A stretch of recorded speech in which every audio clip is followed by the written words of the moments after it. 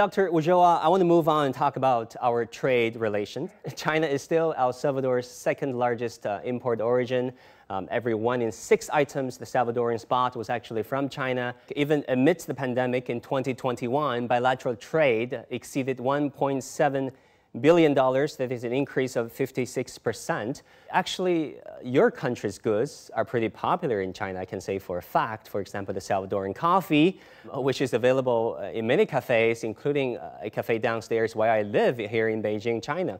Um, going forward, how do you hope the bilateral trade um, can move to the higher level? Well, thank you for remarking the quality of our coffee.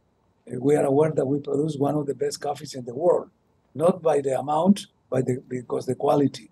So, and this is one of the three main products that we export to China.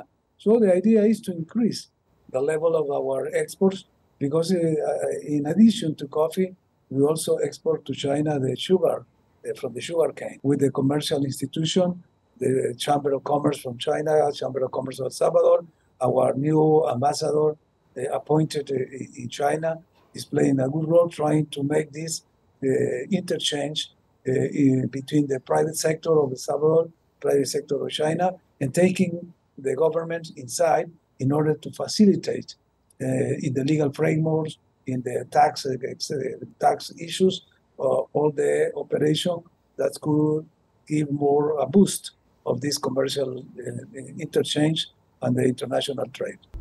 Since the establishment of diplomatic ties between China and El Salvador, the two sides have made historic breakthroughs in exchanges and cooperation in various fields.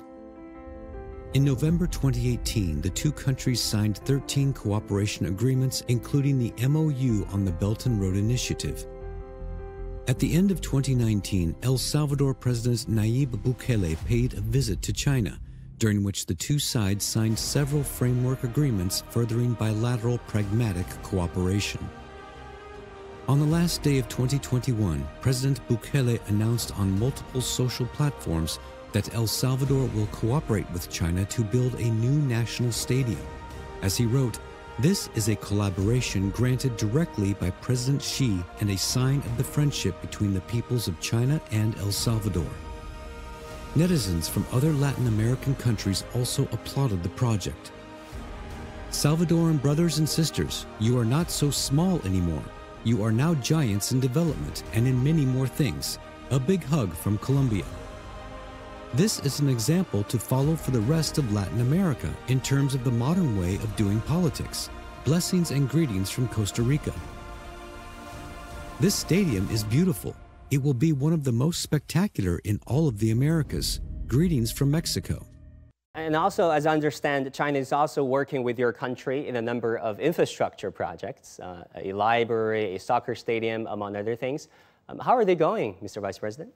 Well, so far, so good. But in addition, other project that deals with some treatment for waters in one of the our more emblematic project, which is developing the tourism so that means that in the beaches, in the areas that the tourism is being attracting because we have the best spot for surfing. Uh, actually, we have uh, we have been a host for international championship of, of surf. But the problem of the treatment of waters to, to, to go to the beaches is one of our main challenges. China has been in agreement to support us and bringing us all the plans for doing the proper treatment. So we appreciate that. We thank the government and the China people for this support, and it will give us, with no doubt, an input and a boost to our economic development.